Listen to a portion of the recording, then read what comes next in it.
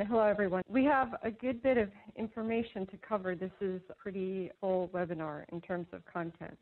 So I am going to jump right in and get started. We'll go over the learning objectives quickly and then get into our class.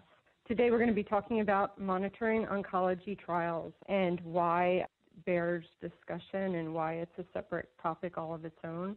Kind of why are um, oncology studies challenging and different in terms of monitoring and managing the project. So learning objectives, I'm just going to go through these pretty quickly because you guys have had a chance to read them.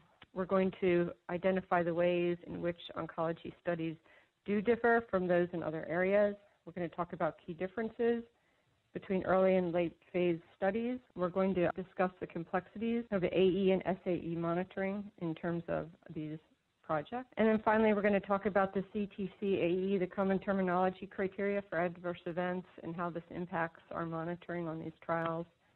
And then just in general and all along the way, we're going to be talking about common challenges with relation to monitoring and also study management and how we can kind of apply critical thinking tools and techniques to overcome these the best we can.